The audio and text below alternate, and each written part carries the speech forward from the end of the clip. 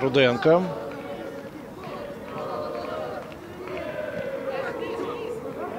Здорово, Бабаев.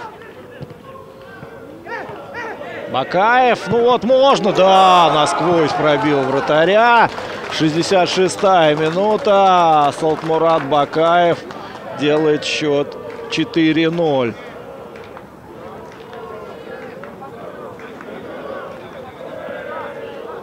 Запрыгнул начальник команды Александра Емельянова. Это, видимо, ему говорил что-то такое, обязательно забьешь. Ну, не знаю, не узнавал это ни у Салтмурада, ни у Александра. В результате гол состоялся, счет 4-0. И Орехов тоже после Зипаты. Чует ногой. Вместо рассказа у Зипата появится